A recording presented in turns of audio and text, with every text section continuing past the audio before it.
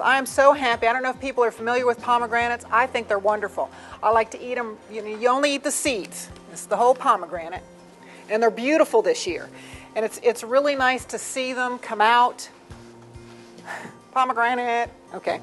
It's really nice to see them come out. Um, like I said, they, they look absolutely beautiful this year. Uh, it, it's nice to get them fresh. And what you do, you don't, you know, you eat the seeds or the uh. Okay, we're going to go ahead and uh, start this. Uh, I just got regular rice. We're going to, um, or a, this is a chicken flavored rice, whatever. We're going to follow the directions on the package of this, which is two tablespoons of butter. away. And you cook the vermicelli in here. And then we'll just get that started there while I show you the pomegranates. It's very easy to do the pomegranates. Here's our hot water. We're going to put in there. So it's the package instructions, the two tablespoons of butter, you cook the rice, uh, you sort of brown it a little bit. We're going to add water, the seasoning packet to that.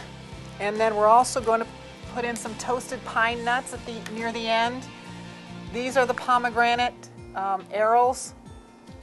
I'll show you how to get out a little bit of green onion and some shredded Parmesan cheese. Okay. Now the pomegranates, all you do is score it with a knife.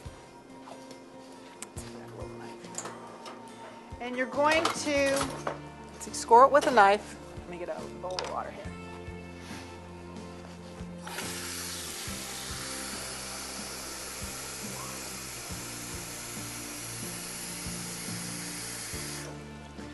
All right, so no, not, that's not cool enough. Since you um, don't want to squirt these all over the place, we're going to do it in a bowl of water.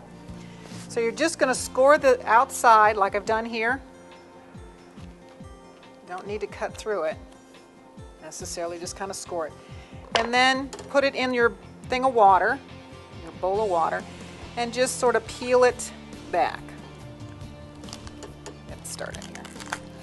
As you can see, this is the opening part. You know, the that's it opens like that. Just peel it off. You want to just sort of flick these seeds off of here, the, off of the little white membrane, and drop them in the water. Not, it's not very hard to do. Just a little, takes some time. Whoops, there goes one. And you're going to, like I said, just flick them off. And everybody see? There's not not much to it. You don't have to do a lot of pulling to get them away from the white membrane.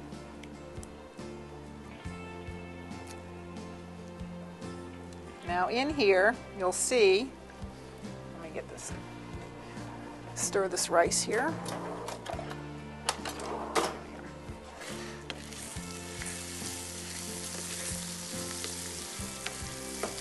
You'll see as I'm working with the pomegranate, the arils or the seeds are falling to the bottom and the membrane's floating on top. So when we get this all done, and like I said, it takes some time. It's fun for the kids to do. Be careful because they do, they will stain.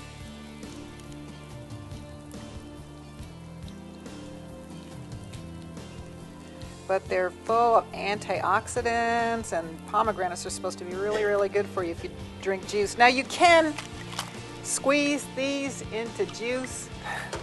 Just buy the juice. you know. To me, if you're going to do all this work and then squeeze them into juice and there's a bottle of juice sitting there, then just get the bottle of juice. And you can, you know, pomegranates are not available all year long. This is the best time to buy them. They they've been in, they've been in about three weeks, I think. But what you can do is do this, dry them off, keep them in the refrigerator, or they can even be frozen. And these, they're a little sweet. We'll, I'll let you um, taste them. We'll put them out. They're they're sweet. They're, they do have seeds in them if you have that that uh, problem where you have to stay away from seeds because that, that is what they are. But I like them. It makes a nice little snack. Like I said, they're very healthy for you. Ooh, our rice.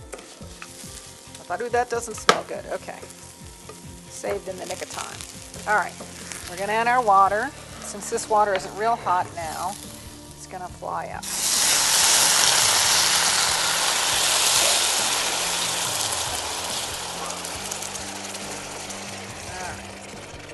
Two and a half cups of water. All right, and our seasoning packet. I'm gonna put a lid on this. We'll let it boil, boil it down for a little bit.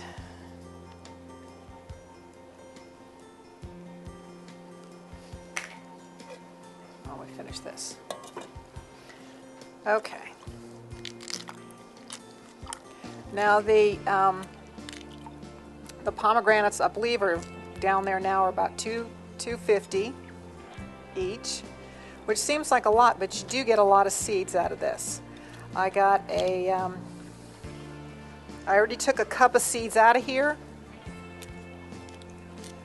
So you can see how many are left. And like I said, I think this makes a, a really great snack. Just sitting there eating it, so you're eating fruit. Um, they're good for you.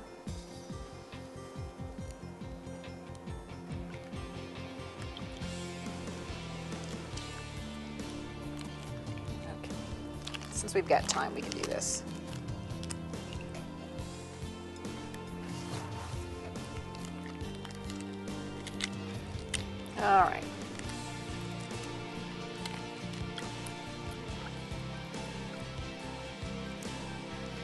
I've even seen a recipe. You can use these in any like um, uh, for a little Christmas um, garnish because it look you know it has a really pretty red color.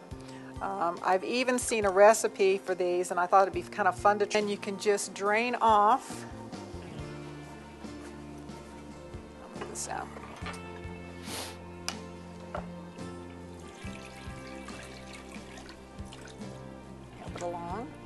A seed there.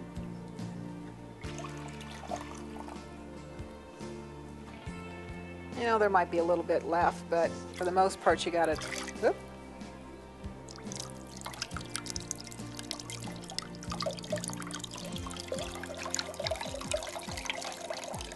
Now, if you if you're going to try the dipping in chocolate, and I would just use dipping chocolate with this, make sure you dry them. You don't want to add these wet ones to um, chocolate because you'll ruin your chocolate and have a big mess. All right, so there's our pomegranate. Like I said, you get a lot out of this. I've already taken a cup out of here, so uh, that's quite a bit. All right, while we're waiting for this, and then we're just going to add this and uh, the rest of this ingredients: the Parmesan cheese, the green onion, whew, the pine nuts, and the um, pomegranate arils. Let's stir it out a little bit. After about 10 minutes, also, and this has been sitting for a little bit, so you're losing a little bit of the color of the pomegranates. But there is our uh, rice pilaf with pomegranate and pine nuts.